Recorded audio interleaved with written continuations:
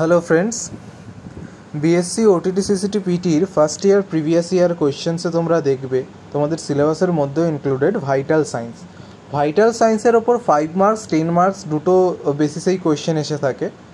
ঠিক আছে? তাই আজকে আমি তোমাদেরকে ভাইটাল সায়েন্স পড়াচ্ছি। আর এইটা আমরা যখন ফাইভ মার্কসের আসবে, তখন এই ফার্স্ট পেজটুকু লিখলেই হয়ে যাবে। ঠিক আছে, এবার যদি টেন মার্কসের আসে, একটু ইলাবোরেট করতে হয়। ওরা টেকনিকটা মেনলি জিজ্ঞাসা করে যে কীভাবে ভাইটাল সায়েন্স রেকর্ড করার টেকনিকগুলো কী কী। তো আমি এই যে আমাদের ভাইটাল সায়েন্সের যে প্যারামিটার্সগুলো আছে, সেইগুলো একটা চার্টের মাধ্যমে লিখে দিয়েছি। তো এতে তোমরা কম লিখে বেশি ভালো স্কোর করার চান্সটা পাবে। আর তোমাদের টাইমও বাঁচবে। তো চলো স্টার্ট করা যাক। ফার্স্টে আসি ডেফিনেশনে Vital signs are measurement of body's most basic functions of a patient by a healthcare professionals. The vital signs which are also called cardinal signs are temperature, pulse যেটাকে অ্যাকচুয়ালি যেটা heart rate respiration rate and blood pressure এখানে তোমরা দেখো যে আমি এইখানে চারটে point mention করেছি কিন্তু চার্টের চার্টে আমি অক্সিজেন স্যাচুরেশনকে ফিফথ পয়েন্টে লিখেছি তার কারণ হচ্ছে এখন, এখনকার দিনে অক্সিজেন স্যাচুরেশন মোটামুটি সব পেশেন্টের সব পেশেন্টেরই মেজার করা হয়। Independent of the patient conditions ঠিক আছে? যে যেমনই পেশেন্ট হোক না কেন, আমরা তার অক্সিজেন স্যাচুরেশন মেজার করি। কিন্তু বেশ কিছু বছর আগে নিয়মটা একটু আলাদা ছিল। আর টেম্পারেচার পালস রেসপিরেশন আর ব্লাড প্রেশারই আমাদের মেনলি ভাইটাল সায়েন্স ছিল। আমাদের একটা ফিফথ ভাইটাল সায়েন্স কনসিডার করতে হতো, যেইটা পেশেন্টের কন্ডিশনের ওপর ডিপেন্ড করতো। যদি পেশেন্ট আইসিইউতে থাকে, তাহলে ফিফথ ভাইটাল সায়েন্স হবে অক্সিজেন স্যাচুরেশন পেশেন্ট পেশেন্টের রিসেন্ট কোনো সার্জারি হয়েছে পেশেন্ট পেশেন্টের পেন হতে পারে, তখন পেন আমাদের ফিফথ ভাইটাল সাইন হিসেবে আমরা কনসিডার করব। কিন্তু এখন যেহেতু অক্সিজেন স্যাচুরেশন সব পেশেন্টেরই মেজার করা হয়, তাই অক্সিজেন স্যাচুরেশনও তোমরাই ভাইটাল সায়েন্সের মধ্যে লিখে দেবে। তো first point is our body temperature definition is, it is the degree of heat maintained by the body. It is the balance between heat produced and heat lost from the body. এর normal value আমরা তিনটে body side থেকে পাই। Oral rectal axillary temperature mainly আমরা axillary টেম্পারেচারটা record করি। That is in our at the centre of our armpit associated কন্ডিশনে দেখো fever যেটাকে আমরা মেডিকেল টার্মিনোলজিতে পাইরেক্সিয়া বলি। আর আরেকটা হচ্ছে হাইপোথার্মিয়া ফিভার মানে টেম্পারেচার রাইজ করবে above ninety nine degree Fahrenheit and hypothermia that is below uh, body temperature below 95 degree Fahrenheit. এবার এইখানে একটা তোমাদের আমি বেসিক জিনিস একটা বলে দিই যে পাইরেক্সিয়া আর হাইপারথার্মিয়া এই দুটো টার্মিনোলজির ডিফারেন্স যে দুটো কন্ডিশনেই বডি টেম্পারেচার রাইজ করে। বাট তাহলে দুটোর মধ্যে ডিফারেন্স কী? ফিভার আর হাইপারথার্মিয়া কিন্তু এক নয়। ফিভার হচ্ছে যখন infection induced rise in body temperature আমরা দেখতে পারি, যেখানে আমাদের শরীরে কোনো ইনফেকশন হয়, তার জন্য আমাদের ইমিউন রেসপন্স হয়। ইমিউন রেসপন্সের জন্য আমাদের কিছু পাইরোজেনিক সাইটোকাইন্স রিলিজ হয়, যারা আমাদের প্রোস্টাগ্ল্যান্ডিন ই টু সিক্রেট করে আমাদের বডি থেকে, আর এই প্রোস্টাগ্ল্যান্ডিন ই টু আমাদের থার্মোরেগুলারিটি নিউরনসকে ডিস্টার্ব করে। এই টোটাল মেকানিজমটা হচ্ছে পাইরেক্সিয়া কিন্তু হাইপার থার্মিয়াতে কী হয়, যখন আমাদের বডি টেম্পারেচার মেনটেন হয় না, এই কারণে যে আমাদের এনভায়রনমেন্টের যে টেম্পারেচার রাইজ করছে, সেই রাইজিং টেম্পারেচার সাথে আমাদের বডির যে হিট রেগুলেটিং মেকানিজম আছে, সেইটা ডিস্ট্রয় হয়ে যায়। তার ফলে যদি বাইরের টেম্পারেচার ধরো স্কর্চিং হিট ঠিক আছে? ইন সামার গরমকালে যদি প্রচণ্ড টেম্পারেচার বাড়ে, আর আমাদের বডি যদি কোনোভাবে এই হিট রেগুলেটিং সিস্টেমটা আমাদের বডির ফেল করে, তাহলে আমাদের বডিতে কী হবে? হিট অ্যাবজর্পশান স্টার্ট হয়ে যাবে। বডির নর্মাল ফিজিওলজি কি? আমাদের হিট অ্যাবজর্ব হয় না।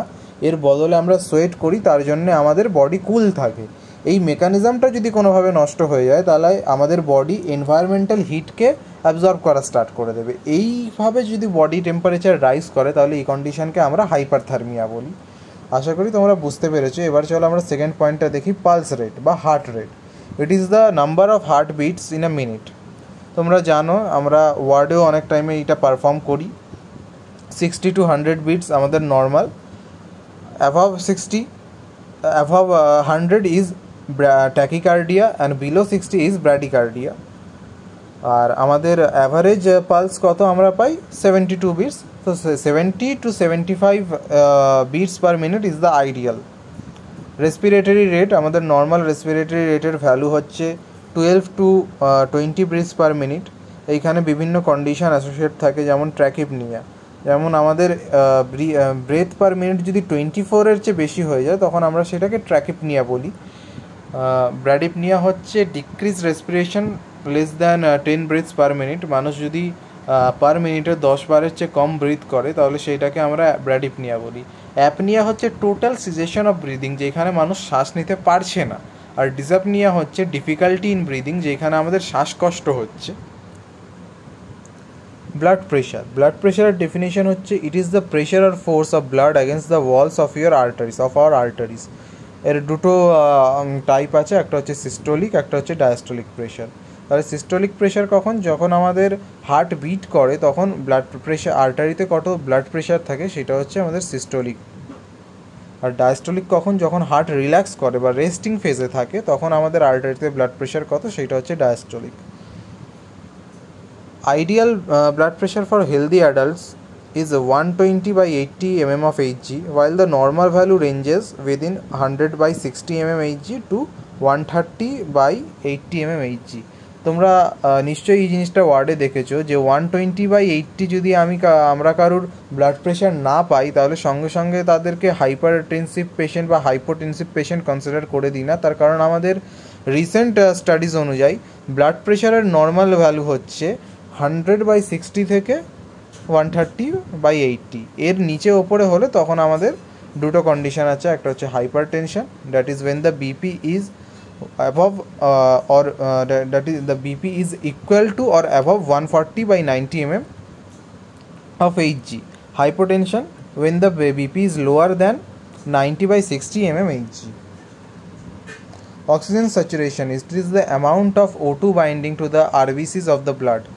So oxygen saturation is uh, 95% to 98%.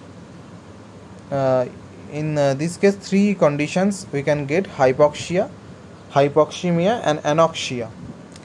এই তিনটে টার্মিনোলজি আলাদা আলাদা তো ভালো করে বুঝে নাও হাইপক্সিয়া হচ্ছে lack of O two in tissues আমাদের টিস্যুতে যখন অক্সিজেনের অভাব থাকবে সেই কন্ডিশনকে আমরা বলি হাইপক্সিয়া আর যদি ব্লাডে আমাদের অক্সিজেনের অ্যাভেলেবিলিটি কম থাকে তাহলে সেই কন্ডিশনটাকে বলি আমরা hypoxaemia hypoxaemia and in anoxia আমাদের টিস্যুতে oxygen availability is about zero percent that is no oxygen is available in tissue this condition is termed as anoxia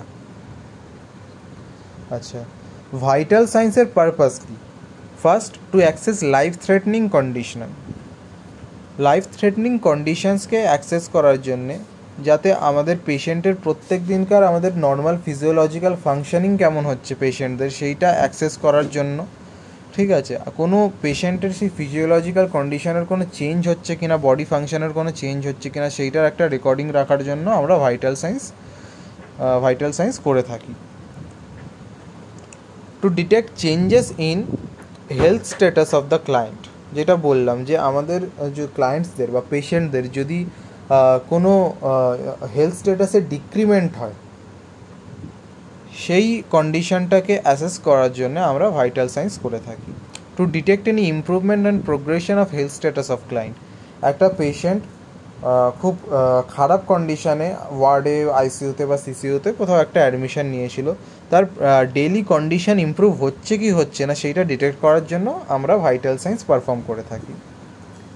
five মার্কসে এই ফার্স্ট পেজটা তোমাদের এনাফ আরেকটু যদি লিখতে চাও, তাহলে এই সিকোয়েন্স লিখতে পারো, যে আমরা ভাইটাল সায়েন্স কীভাবে সিকোয়েন্সিয়ালি মেজার করি according to the patient see in case of adults the sequence is followed first body temperature then pulse then respiration then blood pressure that is TPR BP অ্যাডাল্টসের ক্ষেত্রে আমরা এই সিকোয়েন্সে vital science perform করি। ফার্স্টে আমরা temperature মাপি, তারপরে আমরা পালসের measurement নিই, তারপরে রেসপিরেশনের মেজারমেন্ট দিই তারপরে BP মাপি। In case of child and infants the sequence are as follows respiration ফার্স্টে আমরা মাপবো, তারপরে পালস মাপবো, তারপরে বডি টেম্পারেচার মাপবো, তারপরে ব্লাড প্রেশার মাপবো।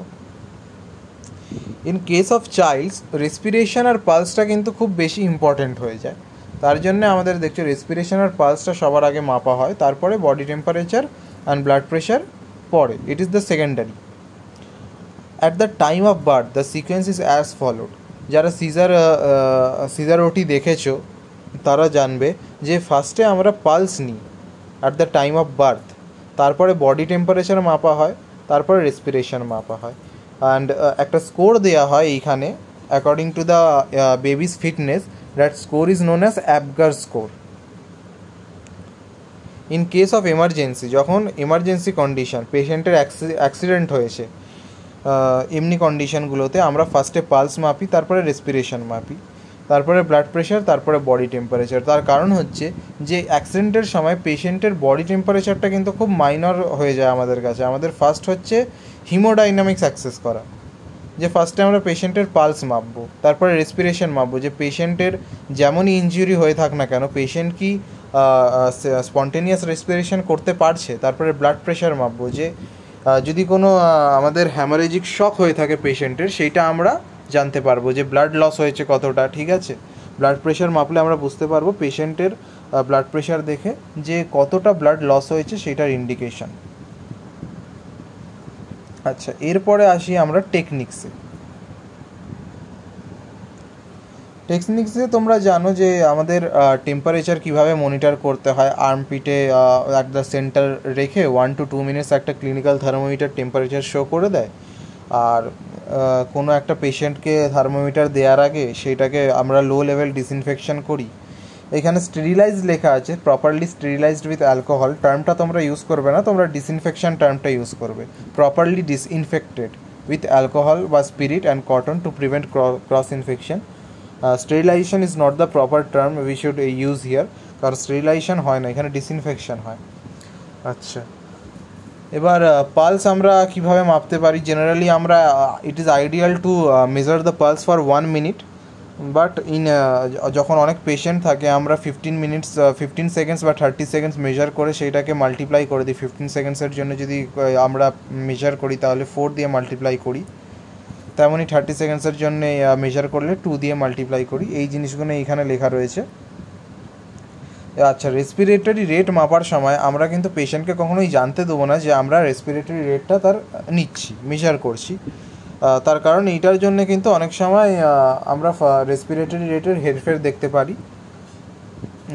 এই কারণে। আর কীভাবে আমরা যদি, আমরা মেনলি দেখব পেশেন্টের চেস্টের মুভমেন্টটা যদি আমরা কোনোভাবে চেস্টের মুভমেন্ট অ্যাক্সেস না করতে পারি অ্যাবডোমিনাল মুভমেন্ট দেখেও আমরা কিন্তু রেসপিরেশন মেজার করতে পারি।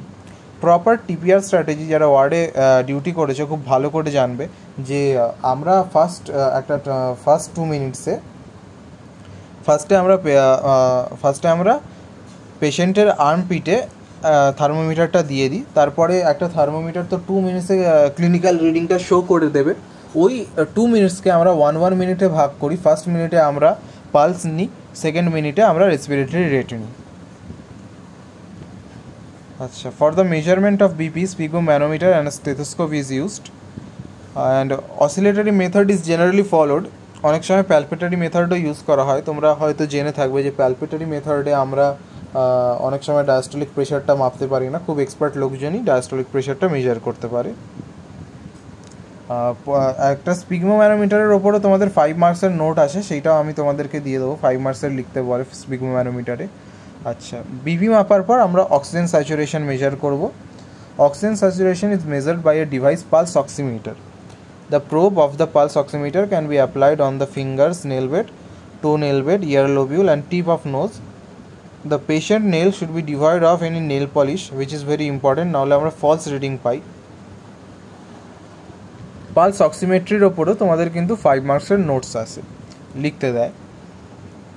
তাহলে এই হচ্ছে তোমাদের যদি টেন মার্কসের কোয়েশ্চেন আসছে ভাইটাল সায়েন্সে তোমরা টেকনিক্সটা দেবে তারপরে সিকোয়েন্স দিয়ে দেবে। It is more than enough for ten marks hope uh, friends you like the video thank you